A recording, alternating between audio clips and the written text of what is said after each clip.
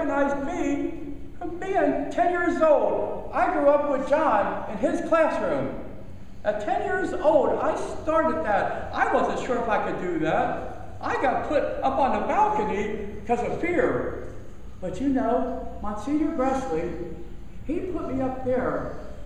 And Sister Teresina gives me six weeks detention for skipping Mass because I was hidden by Monsignor Gressley.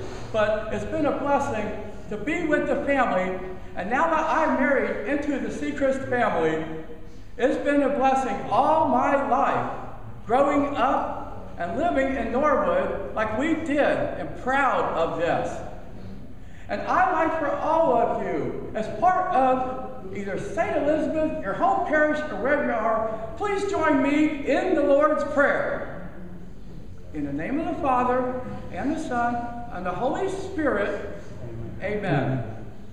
Our Father, who art in heaven, hallowed be thy name. Thy kingdom come, thy will be done, on earth as it is in heaven.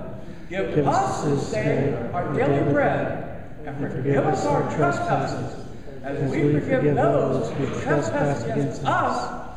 And lead us not into temptation, but deliver us from evil. For thine is the kingdom, and the power, and the glory is yours, now and forever. Amen. Amen. In the name of the Father, and of the Son, and the Holy Spirit. Amen. Hail Mary, full of grace, the Lord is with thee. Blessed art thou amongst women, and blessed is the fruit of thy womb, Jesus. Holy Mary, Mother of God, pray for us sinners, now and at the hour of our death. Amen. In the name of the Father, and of the Son, and the Holy Spirit. Amen. As a lot of you know, I played the organ at St. Joseph's.